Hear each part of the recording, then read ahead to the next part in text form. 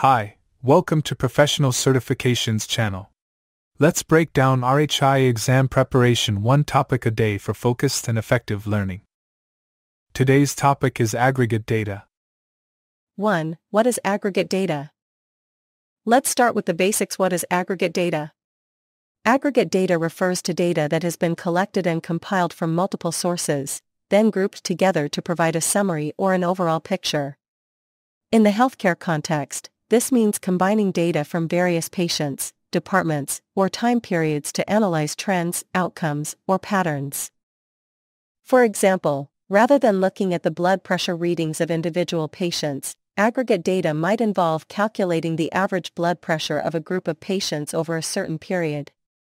This aggregated information can then be used to identify trends, make predictions, and inform decisions. 2. Examples of aggregate data in healthcare. Aggregate data is used in numerous ways within healthcare. Here are a few key examples.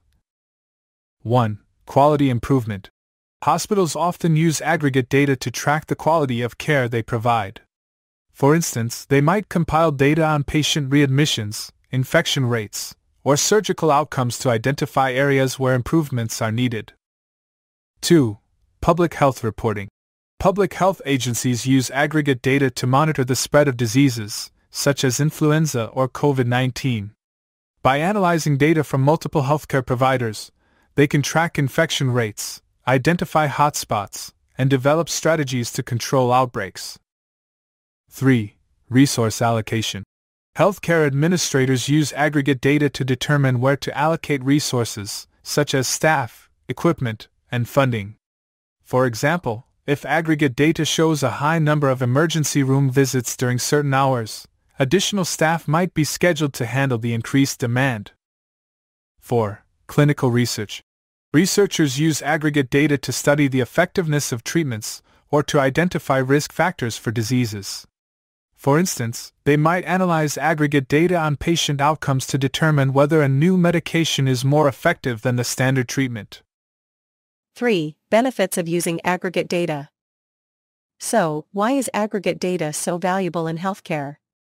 Here are some of the key benefits. Improved decision making. By analyzing aggregate data, healthcare providers and administrators can make more informed decisions. They can identify trends that might not be apparent when looking at individual data points, allowing them to take proactive steps to improve care and efficiency. Better resource management. Aggregate data helps organizations allocate resources more effectively. By understanding patterns and trends, they can ensure that staff, equipment, and funding are directed where they're needed most, improving overall efficiency and patient care. Enhanced public health outcomes. Public health officials use aggregate data to monitor and respond to health threats more effectively. By tracking trends and patterns, they can quickly identify outbreaks, allocate resources, and implement interventions to protect public health. Support for research and innovation, aggregate data is essential for clinical research. It allows researchers to study large populations, identify risk factors, and test new treatments, ultimately leading to medical advancements and improved patient outcomes. 4. Challenges and considerations. While aggregate data is incredibly useful, there are also challenges and considerations to keep in mind. Data privacy. One of the main concerns with aggregate data is maintaining patient privacy. Even though data is aggregated, it's crucial to ensure that individuals cannot be identified.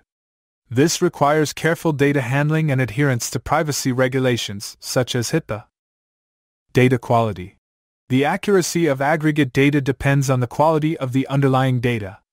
If the data collected is incomplete, inconsistent, or inaccurate, the aggregated results may be misleading. Therefore, it's important to ensure high quality data collection and management practices. Context matters. When interpreting aggregate data, it's important to consider the context. For example, an increase in the average length of hospital stays might suggest a problem, but it could also reflect changes in patient demographics or the types of cases being treated. Always consider the broader context when analyzing and applying aggregate data. Conclusion In conclusion, aggregate data is a powerful tool in healthcare. It allows us to see the bigger picture, make informed decisions, and improve patient care on a large scale. Whether you're preparing for the RHIA exam or working in the healthcare field, understanding how to use and interpret aggregate data is crucial.